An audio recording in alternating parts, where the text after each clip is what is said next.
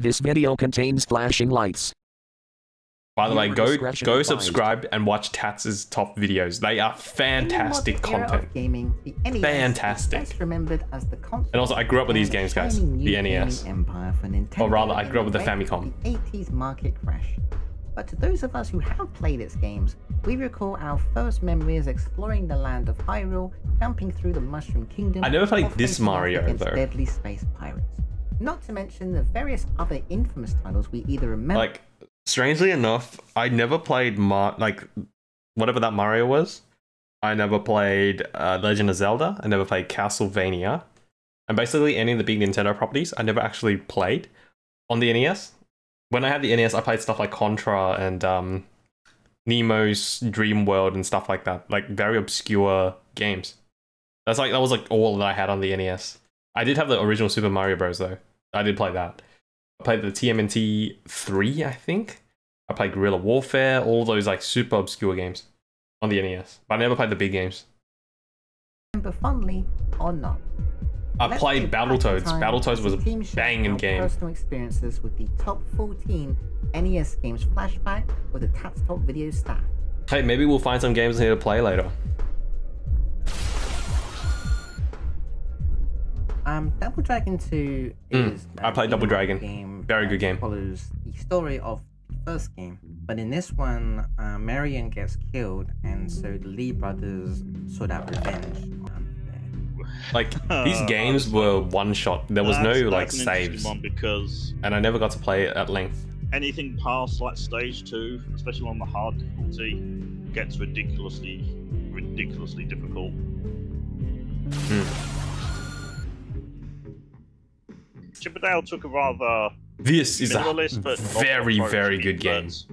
It recognizes that as a chipmunk, you are basically powerless against anything that you face. A lot of the time, you don't actually defeat enemies; you just evade them. Yeah, you outsmart But them. It makes Very good game. of the the picking up of the blocks and the tossing them to solve puzzles, as well as deal with levels, um, the locales were really well detailed. Yep, But I like hundred the percent. fact that Very good there was game. a lot of challenge involved, and lots of objects can be. Very creative as well, and the and the music is fantastic. The music was really, really good. In this game too. I think there was a second game as well. That second game was really good as well. This was one of my first encounters with the beat 'em up in my life. Yes, definitely. Video game wise, where I was like, I played oh, this okay, as so well. You just run around and beat stuff up. This game was hard. You know, there was all there, th- yeah, there were plenty of games that were before then, but this one was my first one. And I thought it was cool because it was exactly what it was trying to be f- to me, which was like Ninja Turtles and stuff that was cool to me at the time, and Ninja Turtles are still cool.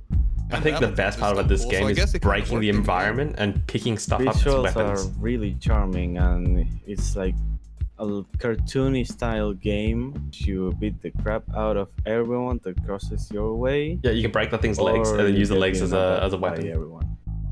Worst level, I would say Volkmire Inferno. Um, the reason why I say that is because um, you're is flying on jets and Extremely difficult you level. need like perfect reflexes. Almost frame perfect to reflexes. through these sort of laser traps. Yeah, I remember this. Faster and Beat it faster once. faster.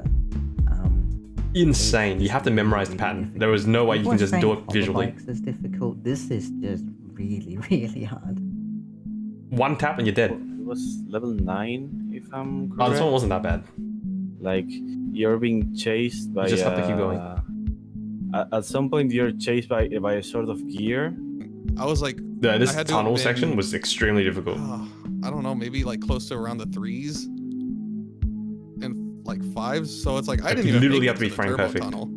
There you go. Because at that point, I wasn't really focused on beating the game. It was the concept that I was able to control something on the screen and like affect the world around me, which was beating the crap out God, of this stuff, level. which was great.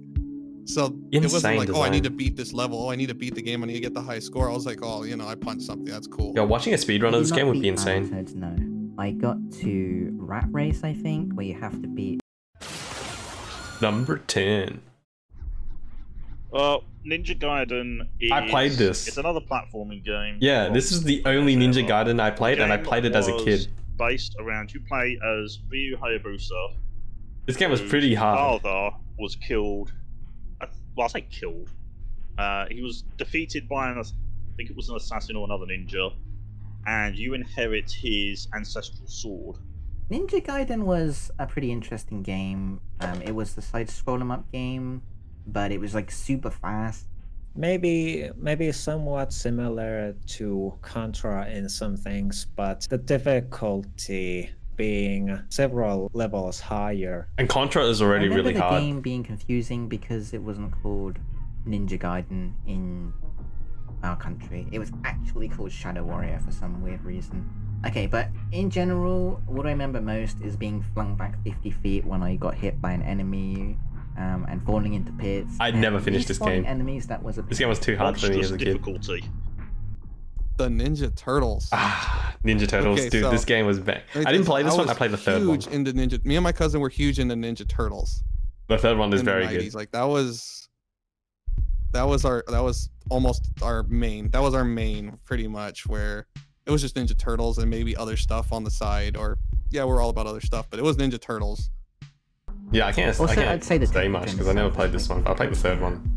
And so like I, think that said, one I was easy. really bad at games when I was a little kid. Uh, they were all hard to me, and it was a miracle if I got past them.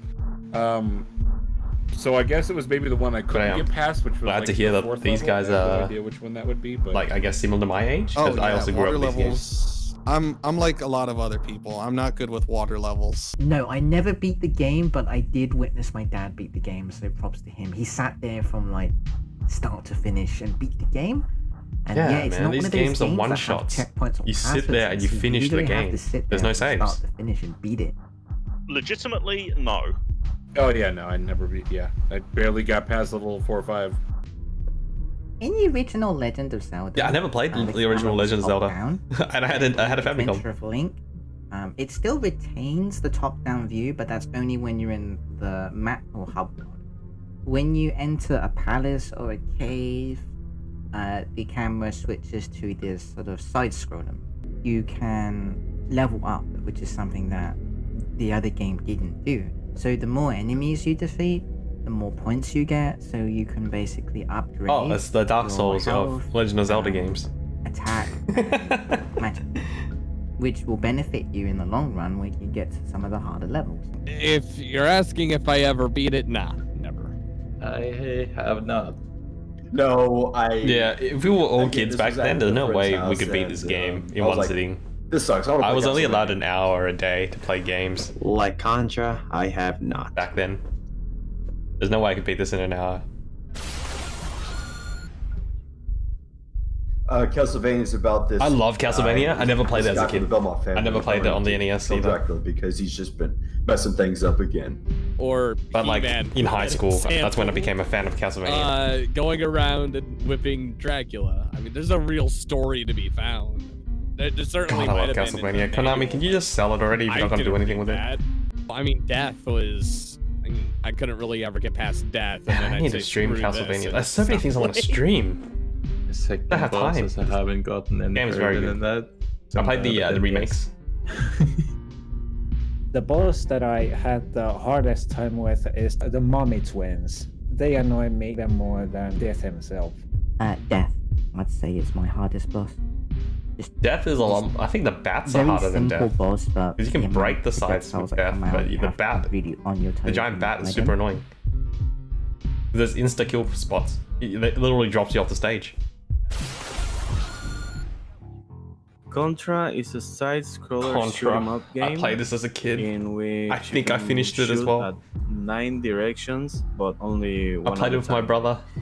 You can shoot like to to the front of the character, to the back. You can crouch. Oh my god, I remember this level. And it's a really hard game because um, at the same time that all most enemies die at one hit, you also die at one hit. Yeah, The Contra is this game where you play as like two buff dudes and it go onto the it's island very clearly Rambo you and the and, and, and Commando. And that's all I remember from Contra. Arnold and But the and thing was, and, in and Sly. Europe, it was called Probotech, and they replaced all the human enemies with robots. So I didn't really know about this until I got the internet. Contra is a run and gun. Man, the music in this game is there are nuts as Enemies well. all over the screen. while- Yeah, three when You lives. try to go Game is from so A difficult. to B. Favorite weapon, I'd say definitely the spread gun. Yeah. And I'm pretty sure my team will say the same thing. That Spread. gun was so overpowered. It was either spread or laser. Broken, but it was like so awesome. Uh, without a doubt, the spread gun. Yeah. The spread gun just it covers so much area, does so much damage. It, doing it against bosses, it shreds them in no time because the Spread or laser. With the laser, you can I hold it. Hold it with your turbo. and spread Yeah. gun are equally my favorites. If you hold the turbo button, the laser the sticks spread onto your gun. You can I ram things with it. really do like the uh, spread shot because it has a wide range. Yeah. The I forgot what it was called, but basically the weapon that shoots out um triple lasers or triple guns. It's a spread. Yes. Yes. There wasn't too many hard bosses in Contra, but I think the ones I kind of had trouble with was the ones where you're in the bases. Oh yeah, these yeah these these ones a are the giant hardest ones. I think that's the second level. But yeah, the And base bosses are really hard. the hard. camera is different. It's not like the other levels; they could throw you off. It's honestly the dodge, final uh the final will constantly spam out uh like like an infinite amount of an infinite This one wasn't that villains are hard. just gonna surround you Yeah. uh with the spread gun it's not too bad Yeah, if you have a spread gun, it's not somehow bad. die uh if you die then you are severely screwed You just get sent back to the start of the level. Yeah, it's like this xenomorph alien. Uh, it was really hard. Like, I barely even uh, like killed it at times. The most challenging one that I might have died a couple times from was the third boss. The gate boss. This one, Yes, that I one's not bad either. Um, I didn't really need the 30 lives cheat either, but um, it was a challenge. But I still did beat Contra. I did, uh, honestly though, with Konami Code, uh, I did not beat it three lives because Yeah, when I played, I always used the Konami code. There was no three way you can beat it- it the whole game with three lives. The game is extremely anyway, hard. This is friends could, but I think the Konami Code makes the game more bearable. Well, was the Konami code up, down, up, down, left, right? Yeah. BA, BA? Luckily, I beat the game like out of lots of times. I just beat it like ten, maybe. I don't remember the Konami code, guys. I'm a I fake have not beaten the game since the latest stage I could get up to was the fourth game. I have to find my NES to play, or I could just play on an emulator. No, I got very close. Very close. I do remember finishing this game, but I also cheated with the Konami Oh. code.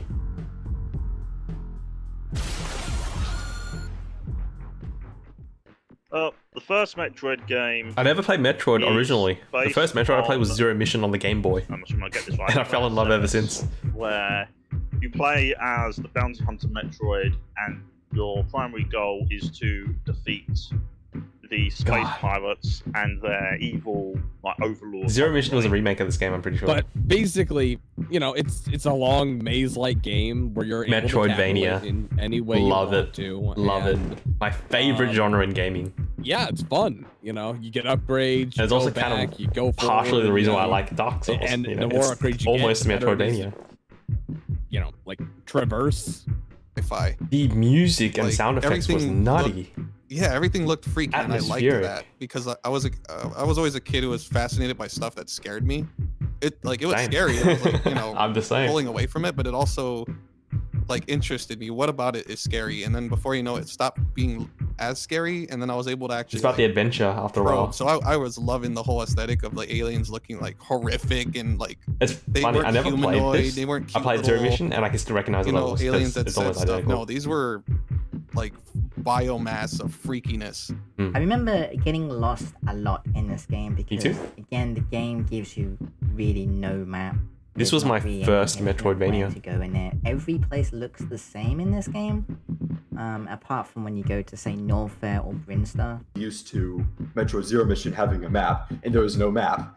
Yeah, oh, this guy played Zero Mission And as I well. was just Yeah. like, uh, I just got Oh, so so but there's no map in I the NES version. I can't imagine playing didn't without a really map. Take notes of maps, and even then, I still don't do that. Work your way through. I am very thankful for Metroid, and I'm very thankful for forth as you Castlevania for inventing basically my favorite genre. So rather than sort of a linear progress of stage one, stage two, stage three, it's literally just here's this map, here's another section of the map. Build the map As you get in, find power ups. Get access to more areas. Yeah, you'll find areas you can't access yet. The bosses to get access to more Advance areas, on, come back later. that kind of thing. Love it. Yeah, the music, the flipping, yeah, turning into a ball. It was the movements because I never seen movements like that in a game where it's like, oh, you jump and you do all those flips. Yo, Shine Spark. Yeah. Ooh. The thing That was is cool. that I didn't. Uh, yes, I did beat the game. Um, I did. I did beat it. Beat and, Zero Mission. um, I thought it was pretty awesome actually that Samus was a woman because at the time there wasn't really many video game Yeah, it came as such a shock women, when so when, when Samus died. I was really surprised. I mean, I was quite young at the time when that happened, so it I wasn't really aware of the like the disconnect between like female protagonists and male protagonists at the time. Yeah, me too. But it was really surprising. I was super shocked the end in a good way. and sort of being like, oh, I'm playing as a woman. Which yeah, thankfully this was now it's- around the it's the time where every every male character was like a macho man. So this was a really nice. I Um, never got change. far enough to see that. Like, To every be real, action male the only character times I was all saw macho, that muscly men. happen was from YouTube videos. I never saw it for myself, unfortunately. I think this was the first one, like first I Mega did Man play the original played, Mega Man. I never finished it. It was you learn the too pattern, hard. Bosses are actually a lot of fun to fight. It was too hard, and I had no idea about the swapping game abilities. I found to get variety of weapons that you get. I never knew how to swap weapons, dude. Like in every. It was too video hard for me. After you beat a boss, you obtain their weapon. Oh, definitely. This reminds like- me, the Mega Man game that I There's a reason that really, really loved um, Smash, like is I Mega Man Zero and Mega Man Zero um, ZX on the Blade, Nintendo whatever it's DS. called. Those games were Something bangers. I think I also played the X series, but I I only played Mega Man probably X the Crash six, I think. Mostly because not only I don't have much memory of it. quite a powerful has The last Mega Man game I played actually was on the phone. Um, they made uh sort of like a throwback Mega Man game. uh, What's it called? I have it on my phone. I think it's actually pretty good for a mobile game. Like they do throwback levels of these classic games, and they have all the all basically the entire Mega Man um extended universe all coming together. Uh, Rockman X Dive. I think I might have played it on stream once. If if y'all like Mega Man, honestly, check out Rockman X Dive on your phone. It's free to play. It's pretty good. If you have a controller and you can connect it to your phone, it's pretty good. Good game. Because I was so excited, I, I accidentally kicked the table with my knee. Most of the pizza fell on the floor, and, and it was a moment of excitement and depression for me. No, I haven't. I feel, I feel that, dude. I feel that. I did not, thanks to that level. Uh, yes, I have. no, these games back then, you, there was so much satisfaction in beating them times because that's uh, they're actually challenging, you know. again They don't hold your hand. these days in the You literally have to learn the patterns. uh, to the point where I often challenge Oh my God. myself to not use a boss's weakness or to avoid using certain powers. Also, I can't believe uh, that we're 32 minutes in. This didn't didn't even feel that long. Like, I'm, I'm maybe I'm just enjoying this too much because it's literally my childhood. I never played Duck Hunt as a kid. Duck Hunt's pretty much just a game where you connect this toy. Never played to it. The, Didn't have it. Uh, to the NES Didn't have it. that's connected to TV. and you I had a bunch of bootleg NES cartridges. I never had a, a legit cartridge. I always had the 101 cartridges with some of these games. Duck Hunt is the what I would call the first game that taunted you because if you didn't hit every duck, that dog would laugh at you, and you always hated that dog. Wow. I remember there was a really popular uh, urban legend involving that game where you could shoot the dog. Yeah, I heard that as but a lot well. of people hate the duck hunt dog. That was the premise for Uh, I Duck. remember a There's a Duck season that that if indie you horror game. got to stage 99, you'd be able to shoot the dog. I'm, Well, I- okay. I I have a I have a Japan trip sort of like planned coming up soon. Maybe hopefully once they open up for tourists. And I do plan on buying a classic Famicom again, just because the one that I had as a as a child is gone, along with all the games. So I do plan on buying a classic uh, Famicom, and hopefully there's some sort of like HDMI adapter or something, because I want to stream some like NES games, but using the original ha- hardware, because I feel like that would that'll really drive the point home and uh, give me all of the um the nostalgic tingles, you know. Ah, man, I miss those days when games were just all about fun. trial and error but it is one of the ones that punish you for the trial like you can have trial and error that doesn't make it any more easier because you still have to suffer through the initial like challenge of okay i died here now let me go back okay now i died here The yeah, the that walk of process, shame but back. so many times through the that was just all games back in the day. And then it's it's also it's absolutely I absolutely feel like I actually like really like that. you're actually doing it like you manage to dodge everything even when you've gone past your trial and error section and you're like oh my god i'm doing it i'm doing it i might actually and then you die I do rem- do remember That's the first kind- time I kind of played them. reminds me of another it was YouTuber, hard very because similar there voice. were lots of obstacles. Yeah, there were lots of obstacles to get through. Like at first they were intimidating, but the more I played them, like I got more. I basically got a feel for it. Another I YouTuber did that I really like, airships. the Silvermont. I, yeah, after this, I was like, you know what? I'm just gonna play Paper Mario. Isn't Paper Mario awful, from what I heard? At least the sequels. How was it? Did you I mean, enjoy the well, yeah, but Like, wow. Click the bell icon and subscribe to see Basically the hour from gone by. Videos. That went by pretty And quick. now let's see the creators of this video.